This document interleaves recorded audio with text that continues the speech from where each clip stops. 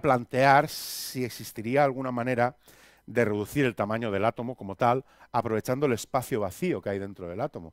La verdad es que si uno calcula el tamaño de un átomo, eh, hay un modelo que utilizaba el profesor Senen aquí en la facultad cuando estaba, que era el modelo de la plaza de toros, que decía que un átomo sería una plaza de toros donde en la parte de fuera estarían los electrones y el núcleo estaría ahí dentro y tendría el tamaño de una canica.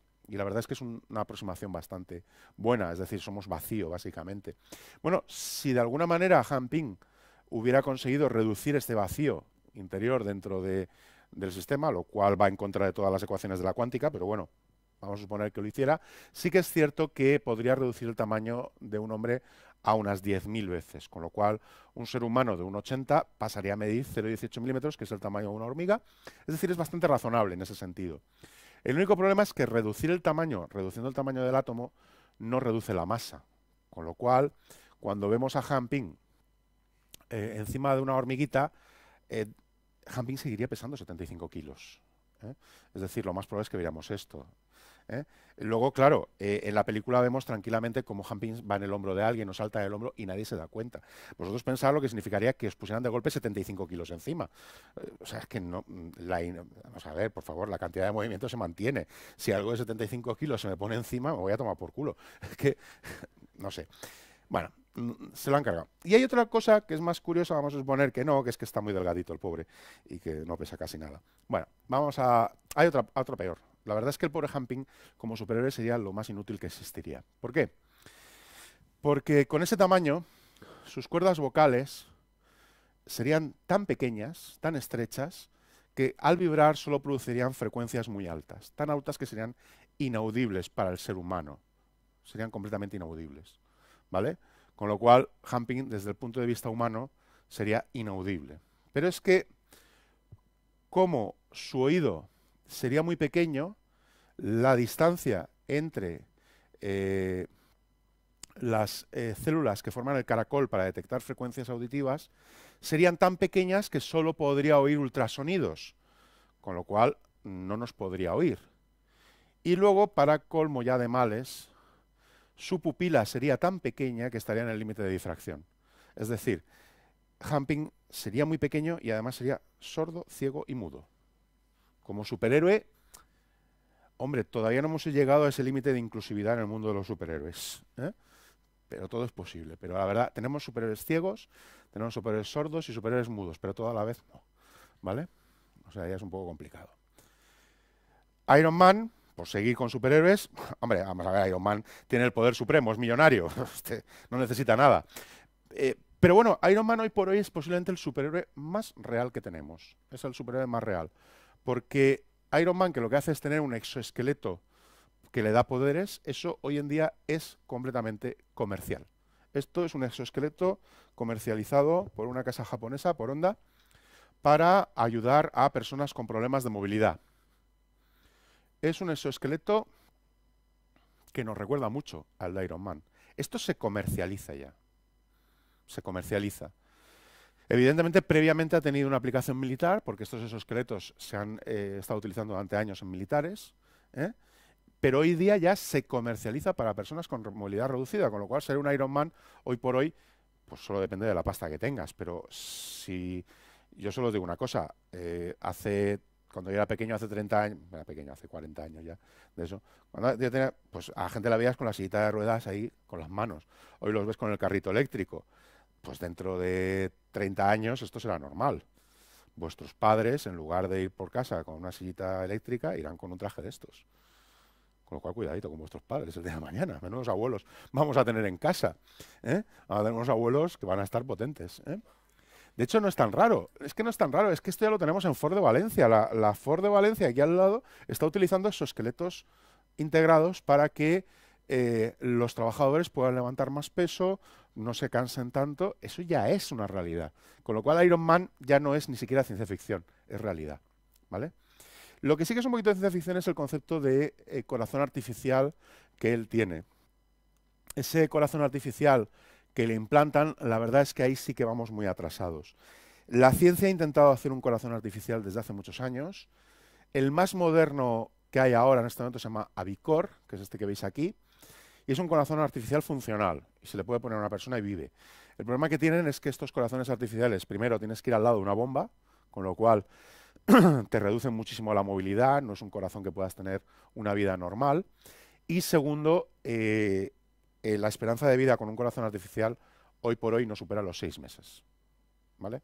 Hoy por hoy todavía no se ha conseguido que una persona con corazón artificial pueda vivir más de seis meses. Es, digamos, un medio para esperar un trasplante de corazón. Iron Man, la verdad es que lo habría pasado un poquito mal.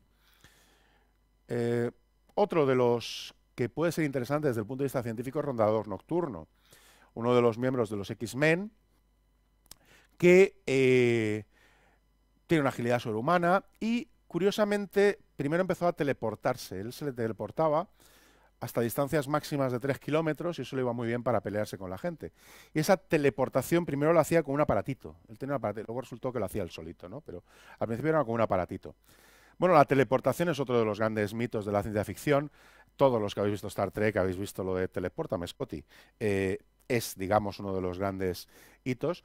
Es curioso como muchos de los autores que están actualmente investigando la teleportación eh, se basan en Star Trek ¿eh? y muchos lo reconocen. Pero la verdad es que esa teleportación existe.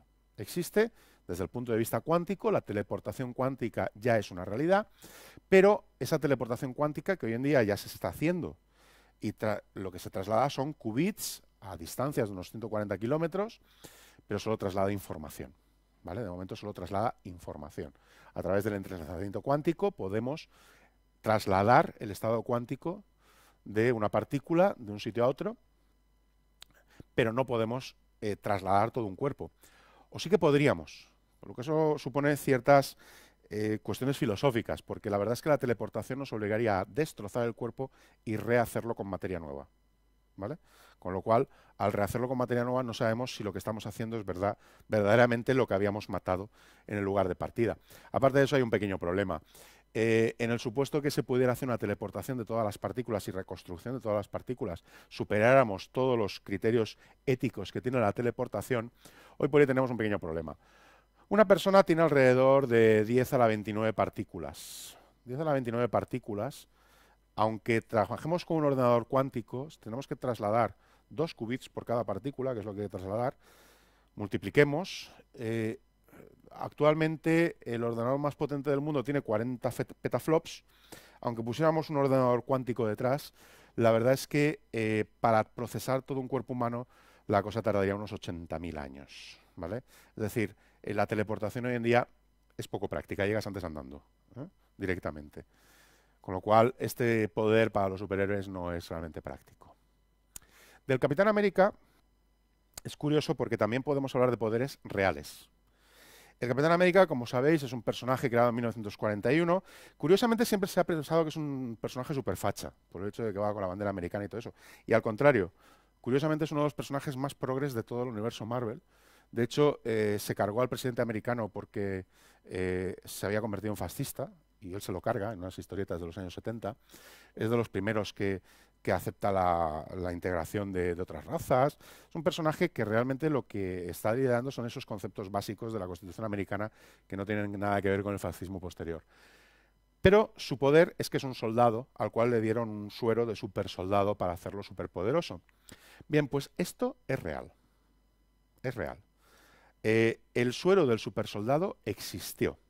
En la Segunda Guerra Mundial, eh, era bien conocido que los soldados nazis tenían una resistencia al frío y al cansancio muy superior a la de los aliados. Los nazis tenían una resistencia increíble. Y eh, se sabe por qué era. Era porque tomaban un suero, un suero de super soldado. Ese suero de super soldado se llamaba pervitin. Eran unas pastillas que tomaban los soldados nazis que les quitaban el sueño, les quitaban el cansancio, le daban fuerza, les permitían tener una excitación muy fuerte y la verdad es que eso multiplicaba sus posibilidades en el campo de batalla. Eh, el pervitín, que fue, digamos, el comienzo de la importancia de una marca que no sé si conocéis que se llama Bayer, ¿eh? era eh, algo era parte, digamos, del equipaje de cualquier soldado nazi. De hecho, el problema que había con el pervitín, del cual se dicen que distribuyó más de 200 millones de píldoras, es cuál era realmente lo que era el pervitin. El pervitin era metanfetamina. Si habéis visto eh, Breaking Bad, sabéis de lo que estoy hablando, ¿no? Metanfetamina. Claro que iban con un vigor y con estaban dopados hasta arriba y de hecho una de las causas que hablan de la pérdida de la guerra contra los rusos es que aparte del frío eh, no llevaban eh, suficiente abrigo y les dieron más pervitín para que aguantaran el frío. Y claro, cuando fueron allí y se les acabó el pervitín, encima del mono, encima del frío y encima del hambre, pues claro, es que lógico que perdieran la guerra los nazis, afortunadamente. ¿eh? Pero vamos, que conste que esto es real, esto es real, o sea, esto es una parte de la historia del ser humano. Si ya en los años 40 estaban haciendo esto, imaginaros lo que estarán haciendo ahora y no lo sabemos, ¿vale? Otro, otra cuestión más curiosa es la del escudo del Capitán América, ¿no? Que ah, está hecho de un metal que se llama vibranium, que eh, todavía no hemos descubierto, ¿eh? ni creo que lo descubramos, porque lo que hace es que absorbe todos los impactos y absorbe toda la energía. ¿no? Vemos cómo le dan un puñetazo al escudo y no se mantiene la cantidad de movimiento, se queda tranquilamente y no pasa nada. La verdad es que lo más parecido que conocemos a algo que absorba la energía de esa manera son los fluidos no newtonianos. Sabéis que, por ejemplo, eh, el fluido más, no newtoniano más famoso, que si os busquéis por Google hay miles de ejemplos, es la maicena con agua. ¿eh?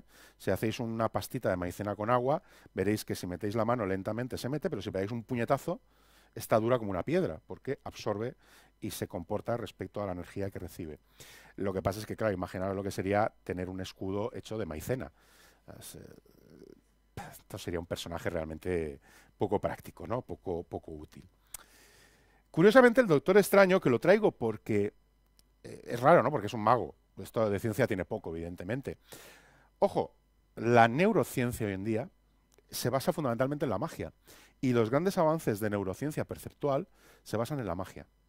Eh, hay muchos eh, investigadores, como Susana Martínez Conde, que es una de las investigadoras más prestigiosas en percepción visual, que utilizan a los magos para ver esos trucos que hacen cómo engañan al cerebro humano y a partir de ahí estudiar la percepción. O sea, la neurociencia utiliza la magia y la magia a su vez utiliza la neurociencia, con lo cual digamos que ser mago y estar relacionado con la ciencia tiene algo.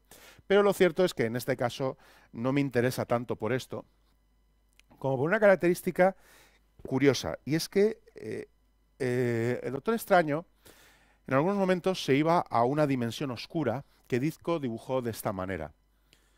Y era un universo paralelo, ¿vale? Los universos paralelos, el multiverso, sabéis que la teoría de cuerdas, pues una de las derivaciones que tiene es la posibilidad de existencia de universos paralelos. Pero es muy curioso cómo, fijaros la forma en que Dizco eh, dibujó este universo paralelo.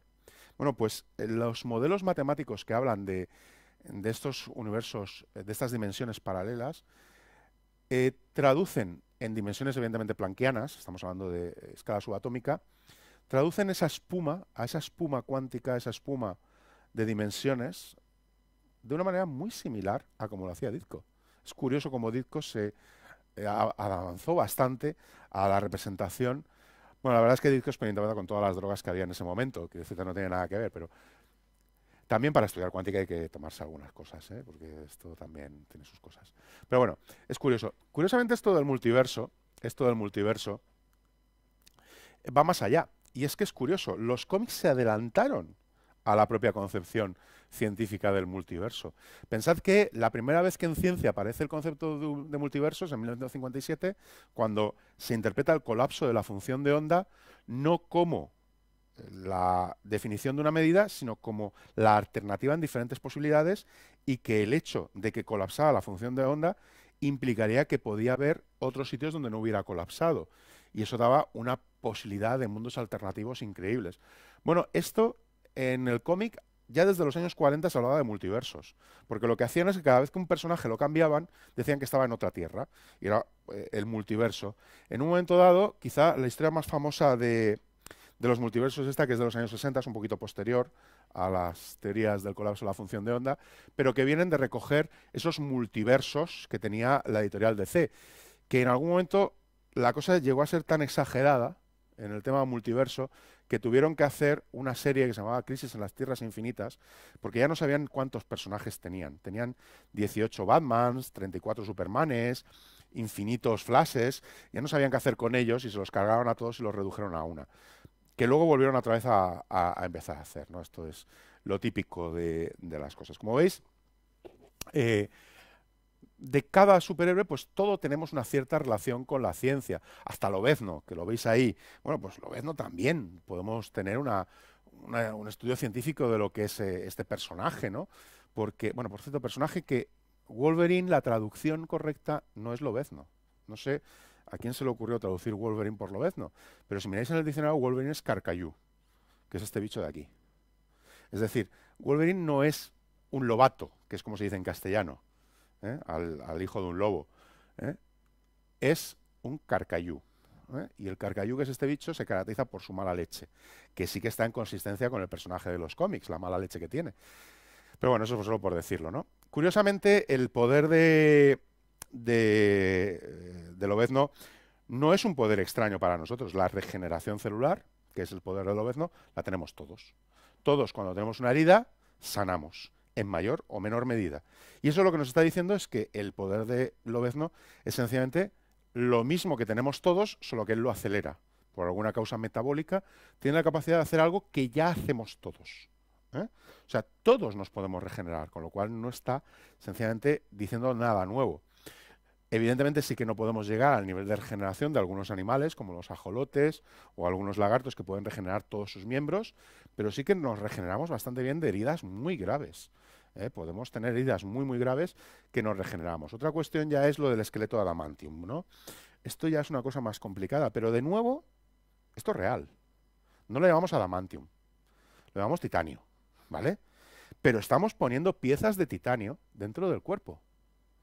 ¿Qué diferencia hay entre el esqueleto del obezno y una pieza de titanio? Bueno, que no se llama adamantium y no se puede destruir, y el titanio pues casi tampoco, con lo cual no pasa nada, pero ya hay rodillas, hay mandíbulas, hay caderas, hay rótulas, es decir, estamos cambiando nuestro cuerpo por piezas metálicas. De aquí a nada, el obezno será este. ¿eh? Porque al paso que vamos, vamos a tener si pensáis en los exoesqueletos de antes y todo su esqueleto interior de titanio, la verdad es que los abuelos del futuro van a cojonar bastante. ¿eh? O sea, porque vaya tela, vaya tela, ¿no? Va, y voy a acabar con los cuatro fantásticos muy rápidamente, eh, porque los cuatro fantásticos también son muy interesantes. Los cuatro fantásticos eh, reciben una radiación cósmica que hace que muten, ¿vale? Bueno, si reciben una radiación cósmica importante, directamente no mutan, se mueren. Pero vamos a suponer que sobreviven. Y vamos a ver si esos poderes son reales. La cosa, por ejemplo, se convierte en piedra. Bueno, pues esto es real también. Hay una enfermedad que se llama esclerodermia, más conocida como la enfermedad de la piel de piedra. La esclerodermia, aquí os he puesto solo una foto agradable de ver, las fotos son bastante fuertes. Es que eh, la piel y la prácticamente todo el cuerpo se va convirtiendo en, eh, pequeñas eh, zonas de, de, calcio, ¿vale? La esclerodermia te va convirtiendo en roca literalmente. ¿Vale? Con lo cual la cosa podría ser perfectamente. Porque además la esclerodermia se cree que es una mutación por causa absolutamente aleatoria que puede venir perfectamente por una radiación cósmica. Evidentemente, un aumento de radiación podría causarte esclerodermia.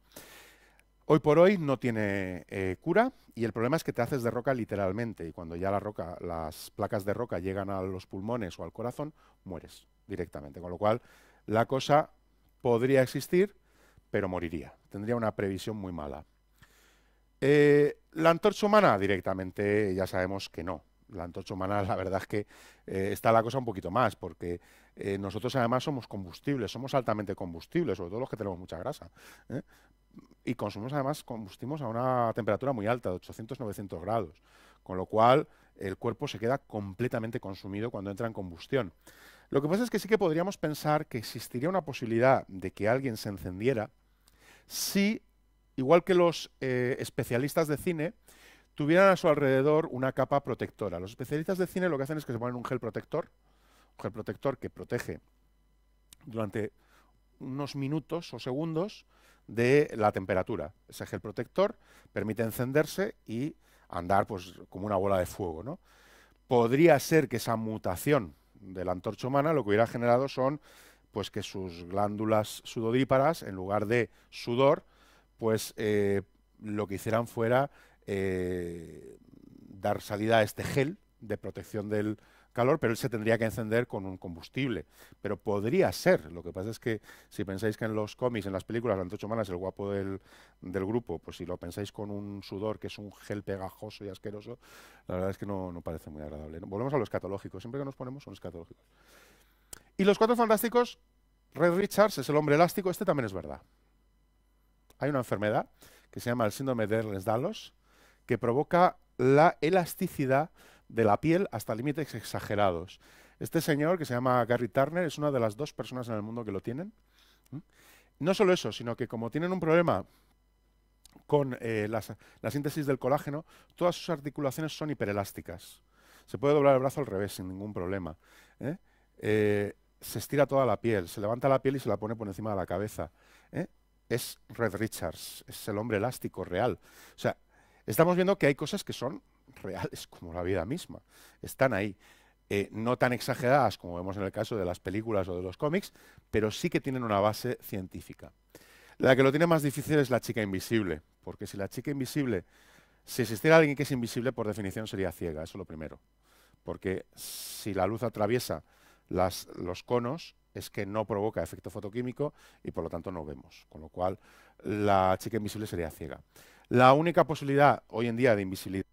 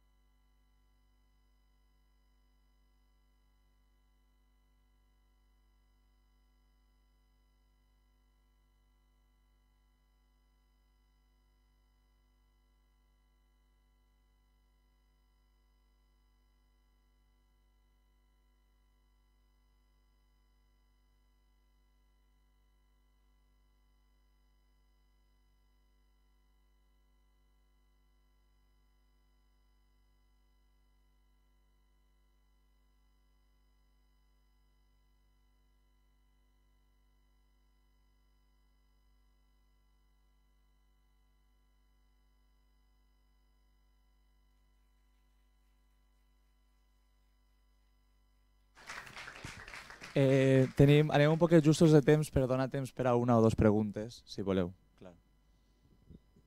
Ningú té ninguna pre pregunta? Pues moltes gràcies per acompanyar-nos. A continuació anem en Llorenç Espinosa, per favor. No sé, pots anar muntant, per favor.